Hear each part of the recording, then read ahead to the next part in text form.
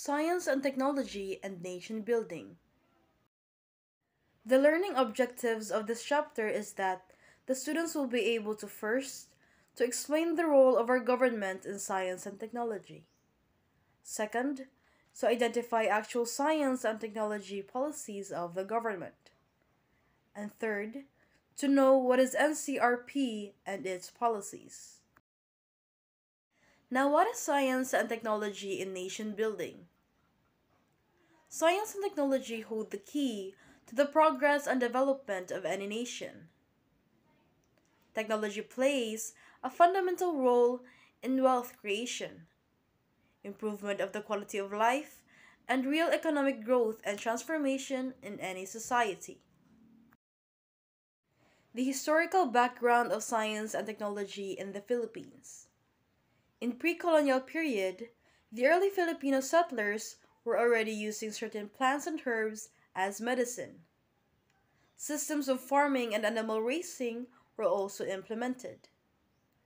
The early Filipinos also developed different motives of transportation and developed tools to use for the daily living. In colonial period, walls, roads, Bridges and other large infrastructures were built using some of the engineering skills and tools brought by the Spaniards. The Spanish government developed health and educational systems that were enjoyed by the Principalia class. Superstitious beliefs and Catholic doctrine sent practices which halted the growth of science in the country. Learning of science in school focuses on understanding different concepts related to the human body, plants, and animals. In American occupation, Americans established government agencies like the Bureau of Science for the sole purpose of nurturing development in the field of science and technology. In post-colonial period, one of the presidents who ushered in the advancements in science and technology. Under his term, Many agencies in science and technology were established and strengthened, just like PAGASA, National Academy of Science and Technology, and Department of Science and Technology. Now, what is the role of our government in science and technology? Governments in many countries directly support scientific and technical research. The federal role in science and technology although subsidiary to industries, is no less crucial. The federal government will continue to carry primary responsibility for funding fundamental research in science and technology, including sustaining the infrastructure of institutions and facilities that perform excellent research and play a critical role in educating and training the next generation of scientists and engineers. Fundamental research and broadly relevant use-oriented research in a number of engineering and technology fields is of current concern because of cutbacks by the Department of Defense and industry central laboratories in some fields. Most of the federal support of university research is now health related, and it will be important to ensure that other fields receive sufficient funding to take advantage of opportunities and produce the human capital needed to sustain U.S. leadership.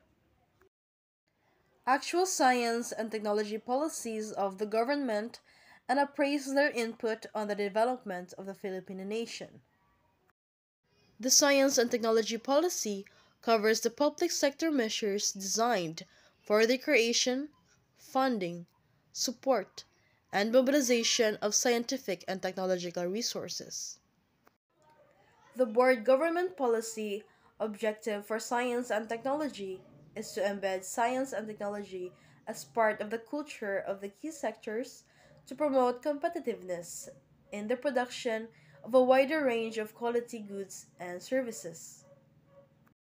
Republic Act No. 2067 is an act to integrate, coordinate, and intensify scientific and technological research and development and to foster invention to provide funds therefore and for other purposes. Republic Act No. 1606 is an act to promote scientific engineering and technological research invention. The National Council on Radiation Protection and Measurements, or NCRP, seeks to formulate and widely disseminate information, guidance, and recommendation on radiation protection and measurements which represent the consensus of leading scientific thinking.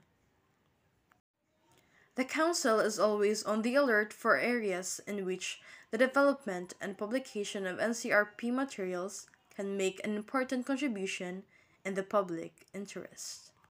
The Council's mission also encompasses the responsibility to facilitate and stimulate cooperation among organizations concerned with the scientific and related aspects of radiation protection and measurements.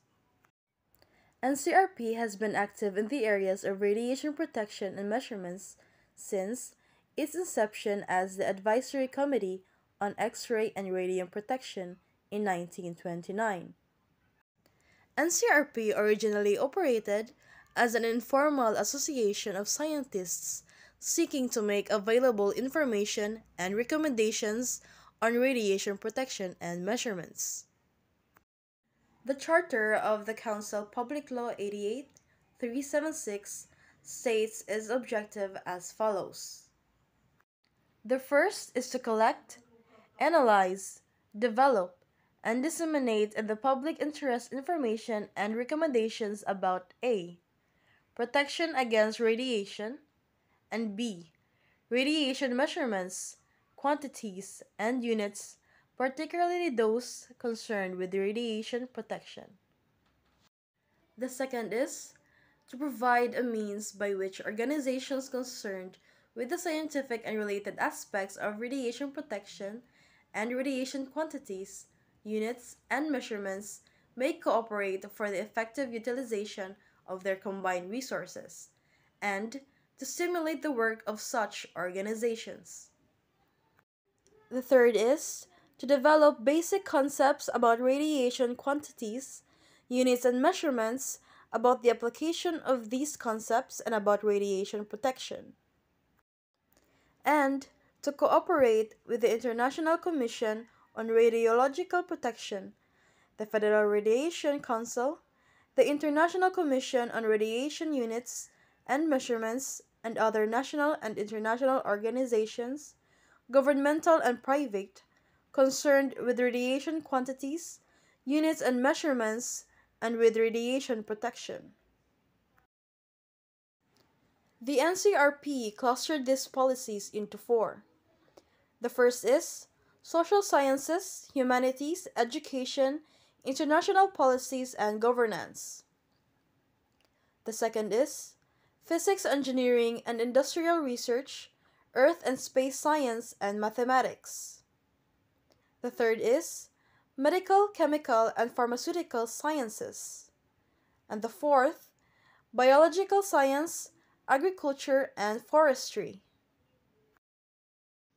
In social sciences, humanities, education, international policies, and governance, this policy is to integrate ASEAN awareness in basic education, emphasizing teaching in the mother tongue, developing schools, infrastructures, and providing for ICT broadband, and introduced and implemented programs, projects, and policies to boost science and technology.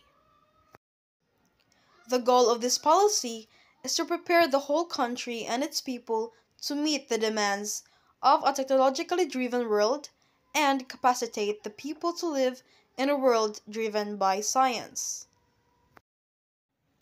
In physics, engineering, and industrial research, earth and space science, and mathematics, this policy emphasizes degrees, license and employment opportunities, outright grant to peer monitoring, harnessing science and technology as an independent mover of development, in response to ASEAN 2015 agenda, the government, particularly the DOST, has sought the expertise of NCRP to consult various sectors in the society to study how the Philippines can prepare itself in the meeting of ASEAN 2015.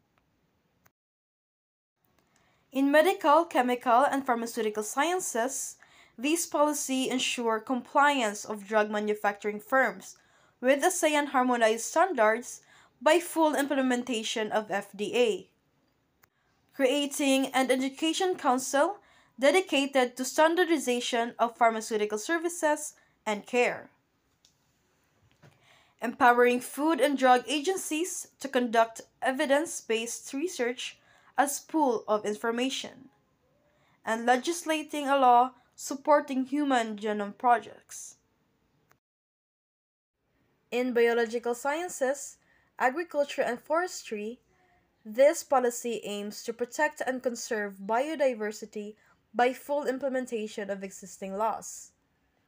Use of biosafety and standard model by ASEAN countries. Promoting indigenous knowledge systems and indigenous peoples conservations. And formulation of common food and safety standards. That is the end of our PowerPoint presentation. Thank you for watching.